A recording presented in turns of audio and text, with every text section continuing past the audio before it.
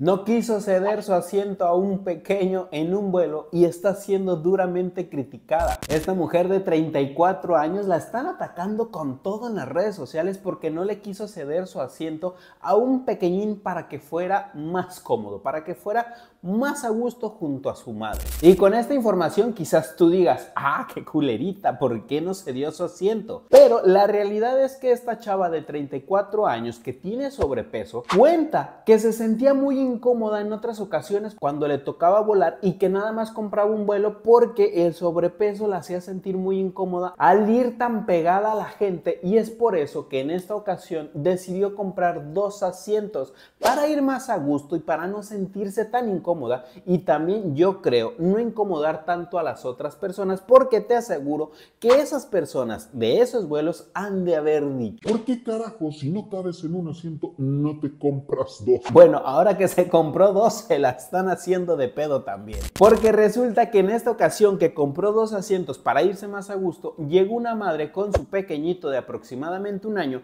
y le dijo, no le pidió ni le preguntó, le dijo que se sentara en solo un asiento para que su hijo pudiera ir más a gusto, más cómodo en el asiento del medio. A lo que esta chava dijo, no, ni mergas, yo compré dos asientos, ¿por qué te debo de ceder uno? La mamá se puso histérica, hizo un drama, pero al la azafata le dio la razón a la chava de 34 años porque sí, ella compró dos asientos para irse más a gusto, no tenía la responsabilidad. Viajar con niños pequeños es muy difícil, yo lo sé, sé de lo que te hablo porque ya me ha tocado viajar con mi pequeñita, pero la responsabilidad es de nosotros los padres, si queremos ir más cómodos, pues paguemos un poquito más de dinero y si no tenemos para pagar para esas comodidades, pues ni modo, hay que hacer lo que se puede con lo que se tiene.